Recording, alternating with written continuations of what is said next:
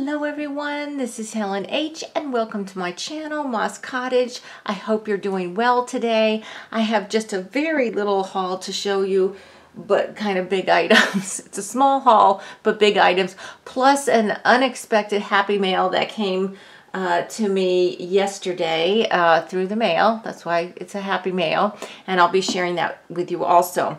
But I'll go in order chronologically. So first was Friday. I went to my favorite auction and I got myself, well, I hadn't intended to buy it for myself, but I have decided to keep it.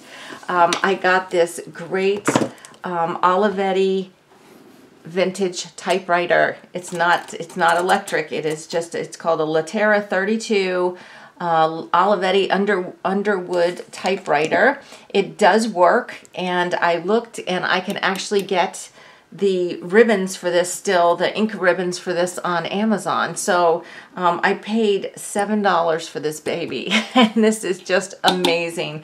So for, and I think it's $7 to get the ribbon mailed including shipping. So for $14, I have a new little typewriter to play with.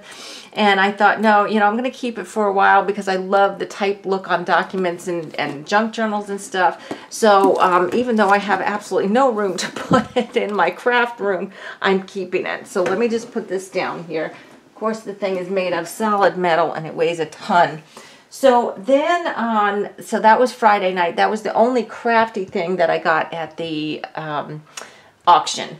So Saturday morning, um, my friend Barb and I went to a flea market, a big flea market that we enjoy going to, and we hadn't been for a while. We were both super excited about going, and man, it was worth it.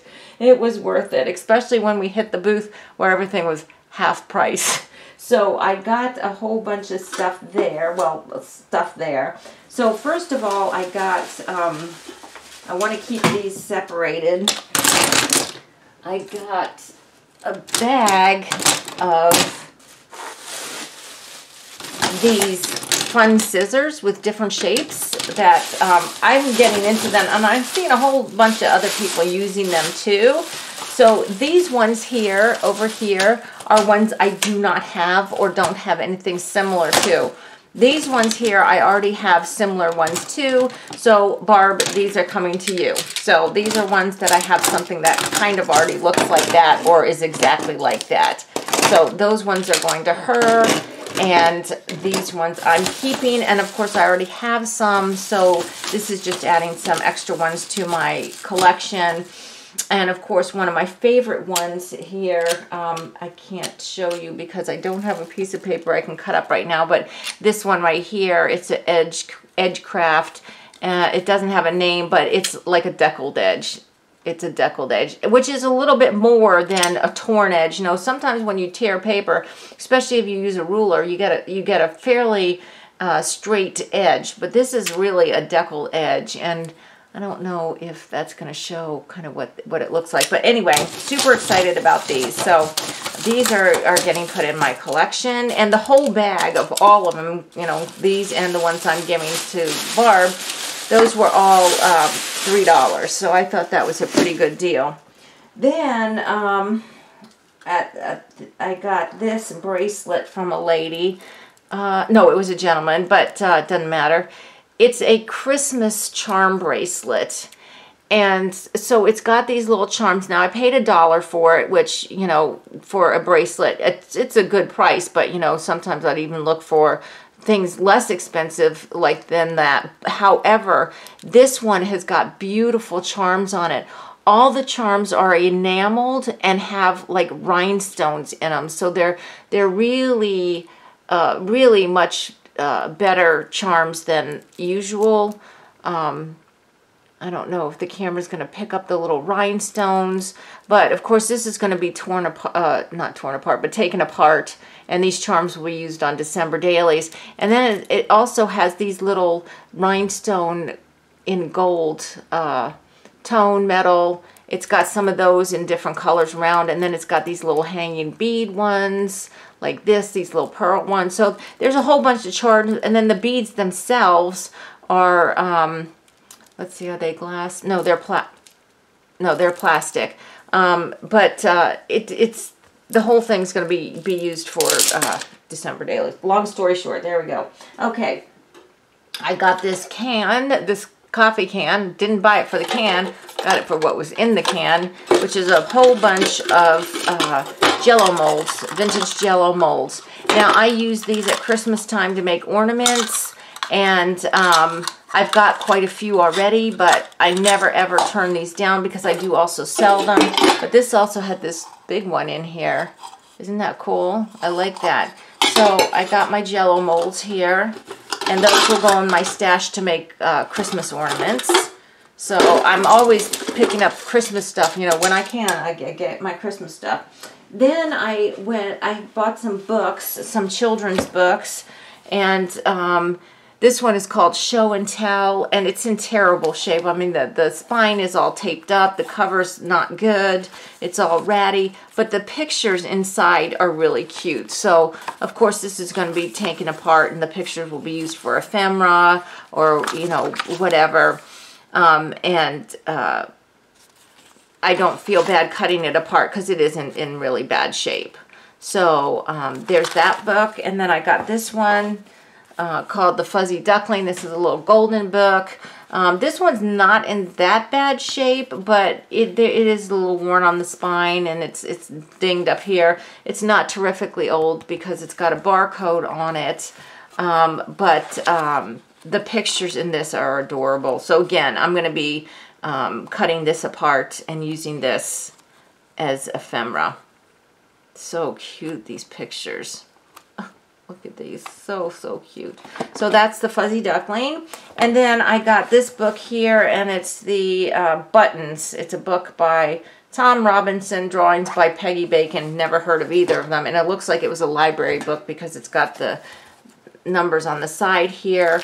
And this book is, oh yeah, it's from the Pamunkey Regional Library in Hanover, so that's not far from here. This book just has black and white cat illustrations, so I thought some of these would be really cool, like on tags and stuff, or cards, these, these funny little cats here.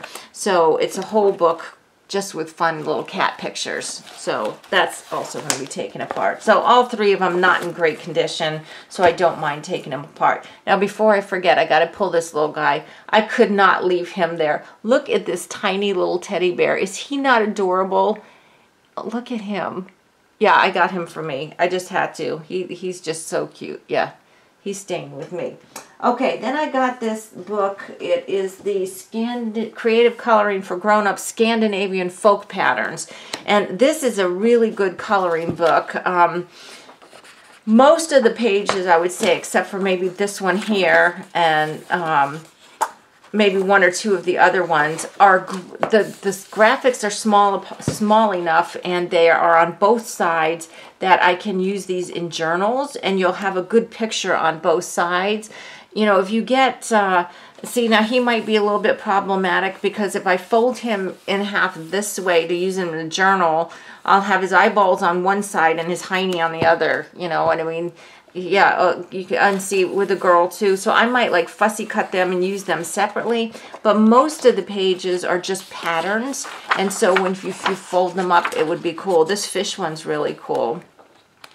Um, yeah, so um, look at the snowflakes. Isn't that beautiful? So this is definitely going to be taken apart and used for junk journals. Okay, then I got this box. Ugh. This was the last crafty thing that I got at the sale, I believe. I got this box of music. This is all old music. And, you know, I was just getting to the point where I needed some more music to make um, uh, ephemera packs because I sell them in the shop. But this is awesome music. It's like just perfectly yellowed. These pages aren't are nice and uh, sturdy. You know, they're not crumbling or anything. So there's lots of good music in here. And then I think these here are, uh, no, not that one. There's something in here. Where is it? Uh, just the, it's just the paper. I don't know what it's called. No, where did it go? It's in here somewhere. Just the lined paper that you use to make your own music. Um, here it is, this. It's called Schirmer's Manuscript Music Book. And um, it's just lined paper that you can make your own music. So I thought that was really cool too. So this whole book, this whole box is just music books, band books, all this. And they're all old and kind of yellow, but like they don't seem to be so old that they're crumbling and, and difficult to use. Okay, so let me move this stuff out of the way real quick, and then I'll show you the little unexpected happy mail that I got from Gretchen, uh, one of my um, longtime uh, channel followers and one of my YouTube friends because Gretchen and I um, communicate quite often with each other. So she sent me this little pouch here with some goodies inside. I'm going to show you the goodies and then I'm going to tell you why she sent me this pouch. So she sent me these laser cut, and I don't have any of this stuff, Gretchen. These laser, laser cut um, crosses. Aren't they beautiful? And, you know, these ones, I'm noticing each one of them has something up at the top. So these would make great dangles even. I could paint them up or something. But each one of them has some place that I could put a, I, um, uh, all right, sorry about that, guys. My memory card got full and I had to go delete some videos off of it. But anyway, as I was saying, each one of these has a hole in the front that I can put an O-ring on and hang it as a dangle if I want to. So thank you, Gretchen, for those. She sent me these two little cards. These were from the stenciling collab that she and I recently participated in that was sponsored by Susan from Susan Hiles Art and Sherry from Turquoise Dreaming. And she kind of imitated the, what I had done uh, to make these cards and I love how they turned out and I'm not sure if the camera will see but these little girls are popped up they're they're three-dimensional how cute are these and then she's got uh, lines on the back so that I can journal with them. I love these. These are so adorable. Gretchen does not have a YouTube channel, but she does post on Instagram. So um, you can catch her work. She is Nature Lover on Instagram. So those are so cute. Thank you, Gretchen. And then she made me this lovely card here. It's shaped like a tag, and it's got the coolest trim on it. It's it's green and it's got like fuzzy and it, like little fuzzy things and then it's got little bows but they actually look more like leaves. And then she textured this. I think this is texture paste this pink right here and it says love and then she wrote me a nice, nice little note on the other side. And I love that Gretchen. That's probably going to hang on my um, bulletin board for a while she sent me this cute little notebook, Rejoice Always, from First Thessalonians 5.16, and it's a great little pad, and anybody who knows me knows that I am a list maker. I think I have lists of my lists. That's how much of a list maker I am. So that will be well used, and I just love, love, love. It's like painty, all like paint scraped on and stuff. It's so, so cute. So I love that. Thank you, Gretchen. And she sent me this beautiful piece of acetate, printed acetate, um, see if you can see that. No, that's not going to work, Helen. What do you, I don't have anything white here. Oh, wait a minute. Maybe this. Maybe this. Okay, sorry. I'm going to have to show it to you against a grungy piece of paper here that I use as a splat paper. But look how beautiful this is. And I'm thinking I may actually fussy cut these butterflies out and use them that way. I'm not sure. I have to be sure before I cut it up, but it's beautiful. So I, I appreciate that, Gretchen. And then, of course, the, the last thing was the envelope itself. And the reason she sent me this envelope, she did get it at the Dollar Tree, and she told me that in her note, was she keeps her stencils in these. Now, when I was doing my stencil video uh, with that collaboration, I was talking about lamenting how I don't know uh, how to store my stencils, and I think this is a great idea. Now, my 12 by 12s won't fit in there, and I, I don't have anywhere that I can see that I can, they would fit, I think, sideways, but obviously they're not going to fit this way. You know, I wouldn't be able to close it. I could stick them in there, but I don't I'm looking around and I don't really see off the top of my head someplace I could keep that. But where my 12 by 12s are, they don't really bother me. It's the small ones that that uh, bother me. So I might just put them all in here. And I love this idea. And if I have more than fit in here, at least she's let me know that the Dollar Tree has these envelopes and that I could go and get one, you know, another one if I needed one. So Gretchen, thank you so much, honey, for this, this uh, very unexpected and very appreciated little happy mail. I love everything that you sent me. And um, yeah, I just feel super blessed at all the things that I was able to get to Friday, Saturday, and then yesterday with this, this um, little... Uh, uh, Happy Mail, everything that I have gotten the last couple days.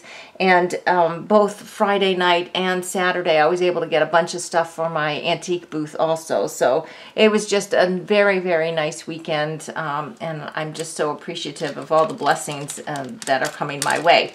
So guys, I hope that you are out there getting some good stuff too. Uh, hit your thrift shops, hit your yard sales. It's that time of year now. There should be lots of yard sales going on. Check out estate sales. If you've never been to an auction, go, go. Try it out. If you're afraid of it, that's fine. Just go one night and just watch.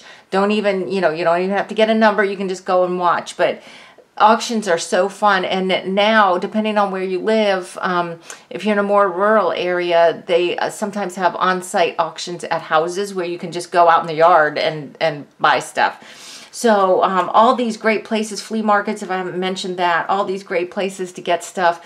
So um, you know we don't always have to get uh, brand new stuff, although that's fun too, but sometimes the thrills in the hunt and when you get these good old oldie things uh, at uh, you know that are already used. It's it's very fun also. So guys, I'm going to stop prattling on. Please give me a thumbs up for this video. And if you haven't subscribed, I ask that you do. I've got a whole bunch of fun projects coming up soon. And until the next video, I hope you're all truly blessed. Bye-bye.